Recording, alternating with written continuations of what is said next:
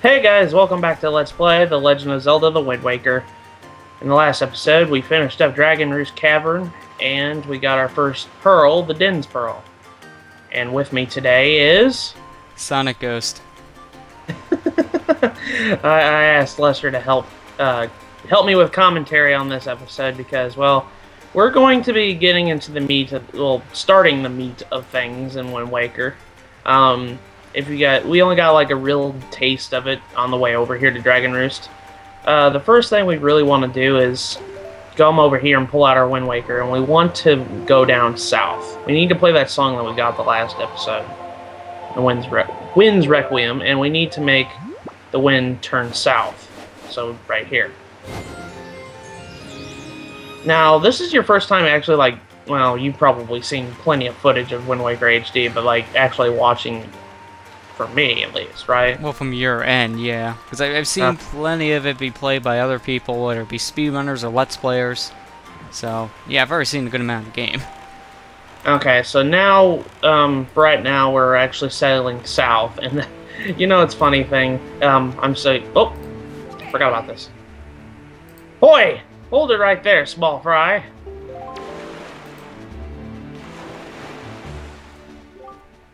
I don't know where you got your mitts on that sea chart you got there, but it looks to me it's pretty much got nothing but C's drawn on it. That's pathetic. In fact, it's almost an insult to call that thing a sea chart, if you ask me. What's the matter, small fry? I'm just trying to be nice here. I'm telling you that you've got a problem, and you do. Don't give me that stupefied look. It makes you look like you ought to be in diapers. Just listen, okay? I'm here to teach you what you need to know about this island. So open up your sea chart, make it snappy. Well, this is an introduction to a certain character that's going to be at every island in, the game, pretty much. He, this is a, well, he'll say his name here. There's a real peculiar cave towards the backside of Dragon Roost Island. Yes, a real, yeah, real peculiar. But I doubt you'll ever get to see it, Small Fry, unless you manage to sprout wings and fly. That is, because you won't be getting there otherwise. That's all the time. All I can teach you, Small Fry. But I will do this. Since I'm feeling so generous, I'll send my word to all my brethren living in the islands of the Great Sea. Good bunch of fish. If you see any fish leaping out of the water, and you'll sail near, near an island, sail up and spread baits out of the water's surface. Trust me, it's good advice, Fry. See, the baiting process allows you to get chart on the island, along with any info that might be used for you. I highly recommend that you make a habit of doing so. You, see, you're definitely going to need the reliable sea chart to help you search the things out in the sea. I can't emphasize that enough, Fry. You need a well-drawn chart. You don't get it for every island you come across. It'll just be bigger hassle for you later on. Now, don't say I never did anything for you, Fry. Hoy there! Hoy, you there, you kingly red lion guy. That's it. I repaid my debt. I'm done. You take care of the rest. Anyways, that is um Fishman. Um Yes, that is literally his name, young- Fishman. yeah, his name is Fishman.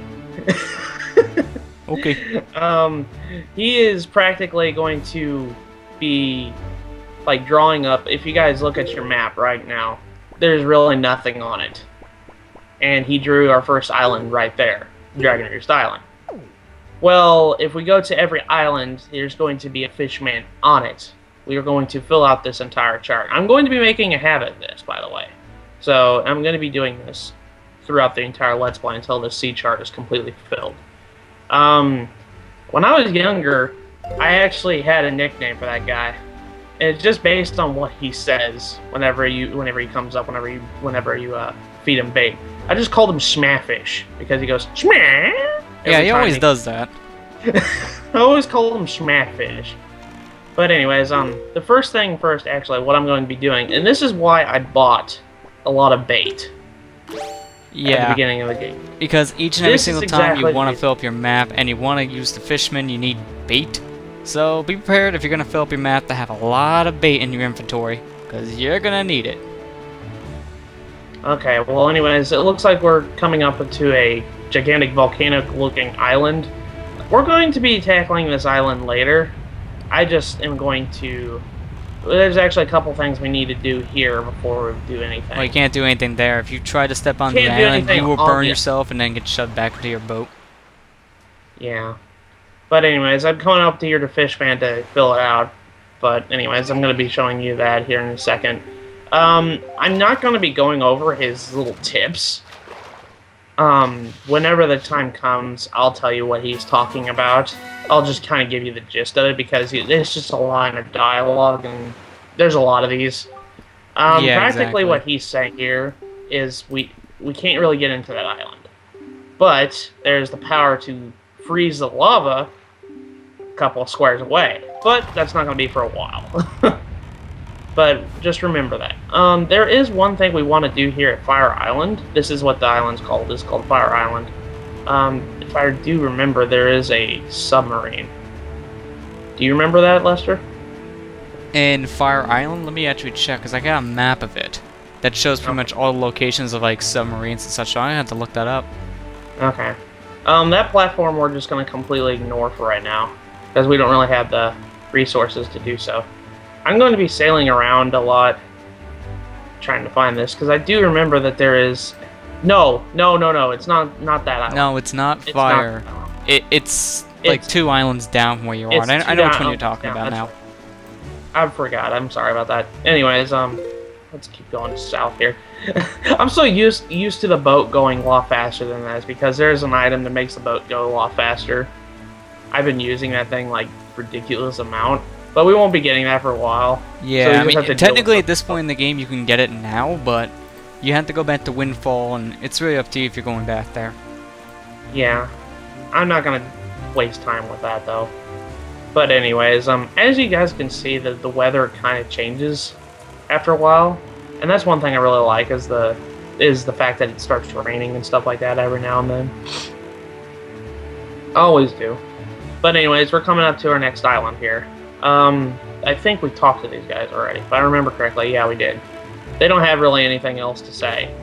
They just tell you about the treasure charts whenever you get a chance to. Yeah, they don't have anything else to say. I forgot about that. It only works one time. They only give you one chart. I always think they give you two. No, they only give you one. Uh, this island is going to be much important later on. But uh, anyways, let's get up to Fishman here and get a, another island added to our chart here. Schman. Um, what is his information about this one? I think he mainly just This- talks about the significance of this place later. Yeah, I think it does too. If I remember correctly, let's just let's just take a gander at it. No, he just tells us about fairies. That's pretty much. Okay. oh, close enough, I guess. And um, he just told us another hint that I just now realized. Oh, there is another enemy. That's called an Octorok. Quite different than the Octoroks we're used to in the other Legend Zelda series. Those Oh, are yeah. actually octopuses. Those ones actually also shoot bombs. No other Octoroks shoot bombs. Yeah. So That these is- ones are probably the most deadly Octoroks you can find. Well, technically Oh. that's one of the two variations of them though. Mhm. Well, let's get another uh, bait on here because now I just ran out. Um, this island right here. I do believe that the item that I'm looking for is on this island. Yep. Well, it's this not on is this island. Well, no, no, it's not a submarine, but it, yeah, you're coming up to it. Yeah. Man, I'm so used to the boat going a lot faster than this. Gosh, I'm I, I, I know I'm being a little really picky. Yeah, there it is. I see it now. Now this island is called Bomb Island. We're not going to be coming back until, well, we have bombs. Can, can you guess what you need to complete the stuff here? I mean, it's not in the name or anything. Yeah, so it's not going to be a big deal, anyways. But anyways, uh, here's another schmafish information. I think he just tells you about what's on the island and what you need for it. That's pretty much all his little hints for are. Is just essentially just doing that. Yeah, true. No, no, this is something else. Uh, he is talking about an an ancient ship called the Ghost Ship. Yeah, We're you're not not gonna be gonna be seeing that until like like, near the end of the game, so We're not, gonna worry about into it. Yeah, don't worry about that. But anyways, this is the thing I was talking about. This is a submarine. There's various submarines around the Great Sea, and they all hold really good items in here. This is going to be our first one here. Uh, here, Bako one. I'm going to steal your joy pendant using the grappling hook. There we go. You can actually kind of, I don't know if they did that, if they changed that in Wind Waker HD, but I don't think you can grind off of off of uh, Bokoblins like that, like you can in the standard Yeah, you can. edition. I've seen people do Yeah, it. can? Yeah. You, you can still do a trick of just lead the area, come back, and then you can grab joy pins from them again. They respawn them. Ow. but anyways, we're going. Uh, this is um. Whenever you're in a submarine, usually the main topic is to kill all the enemies in the submarine. Yeah, usually. Oh. You might have that rare occasion where you just have to climb a ladder. That's very rare. Oh, that's not gonna hit him. Yeah, uh, that's what I did the first time I played. Like, will this reach? It never works unless the rat's right in front of your face. Yeah, they always run really fast. And the grapple ahead. only has such a amount they can go to. Actually, you just had to kill all the Boko Bombs. You didn't yeah, have no, to the rats the are just an annoyance. Just Bokoblobins. Yeah. Bokoblobins. Okay. Boko Bombs, yeah. Hold on a second. I'm gonna get rid of these guys. These guys are annoying. The first part. Come on. Yeah, when you actively go and try to kill the rats, it gets kind of annoying. Just because they take forever to get off the roof. But they do give a lot of money. Yeah. But anyways, let's open this chest. Inside this chest is our second empty bottle. This is going to be very important to have. There's four total in the entire game, and we got our second one. Yeah, it's good that you get the second bottle so early, because some other Zelda games you have to wait a while to get your next bottle. So, it's good to always get at least two bottles as soon as possible. Yeah. I actually managed to hit that rat with that freaking barrel. Yeah, you, you just had like to. perfect aim without knowing it. Yeah. Anyways, um, I do believe I usually skip up these platforms at this moment because, well, don't really have an item at the moment to completely destroy them. I mean, we can actually go up on. I'll, you know what? I'll go ahead and do that. Yeah, I'll go there's also the thing is a lot of these don't really have good rewards. Like you can get rewards from some of these. Some could be like heart pieces or rupees or just little items for your spoils bag. But usually you're probably getting something like maybe money or items. It's that rare occasion Yeah. you'll find one that has a heart piece. Yeah. You know, might as well kind of grind for joy pendants. And but anyways, um, usually platforms don't really give you very much. I I'm, was fortunate enough they actually did something because, well, usually what they do is you probably see these cannons underneath these pla- these platforms here. Well, we don't have a way to destroy these cannons yet, but um, later we will. So, actually, there's a fairy right there. Holy crap! Get the bottle. Get the bottle. Yeah. There we go. We put a fairy in a bottle. Now, when your life energy runs out and you collapse from exhaustion, the fairy will replenish your strength. Don't.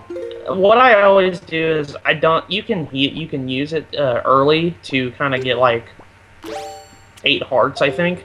But keep a hold on to them because you never know when you know things go bad and then you just die. Really, that's like the main use of fairies because before in past Zelda games, specifically Ocarina of Time, Majora's Mask, they would heal pretty much all your hearts. So that was cheaper Yeah. to get than say like a red or a blue potion. But after that, starting Wind Waker, they nerfed it only to eight hearts. You pretty much just want to keep it around for just a quick revival. You don't want to Um, waste it. I will say that that was actually kind of a waste of a trip because all that was there is um, a red rupee, which was 20, and if you guys see, I'm capped out at the moment. Yeah, so, that was kind of a waste of time. Yeah, that was just a waste of time. Hey, I got some joy pendants out of it, at least. But anyways, we're nearing our next destination. If I can, if the cutscene will ever activate. Eh, you have to really get into this area Yeah, before really get close to it. There we go. See what I mean? So you have to be like pretty much right next to the island. Yes, do you not see what rises up on the horizon? That is where you must go, Link, the Forest Haven. So now we are at our next area that we need to go to. I guess this is the most the the next major area, I should say. Yeah, I was about to say next major area. We ran into Yeah. like three other islands at this point. Yeah. It may appear as though this was once great tree rising far above the ocean's surface, but this is a sacred place. It is inside the grotto you will find the spirit of the of the earth, the great Deku tree. I've always called it Dooku, but then again, I was like, that's not Count Dooku from like Star Wars and stuff like that. I, I kind of like after I went back and watched like Ocarina of Time, let- Let's Plays and everything. I was like, I've been saying this wrong for the longest time. You must speak with the Deku tree and receive from him the sacred gem known as the Farore's Pearl.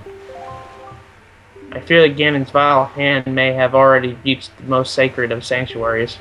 Go forth with caution, Link. Okay, so we're here at Forest Haven. And um, as you guys can see, the wiggling jet mailbox here. So let's go ahead and talk to it. Good evening. Letters for Link. We have one letter. Here is your letter.